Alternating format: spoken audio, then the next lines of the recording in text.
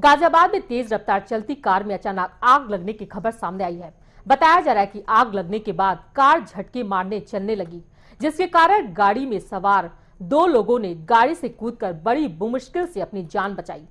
आपको बता दें कि दोनों लोग हादसे के वक्त गाजियाबाद से लोनी की तरफ़ जा रहे थे।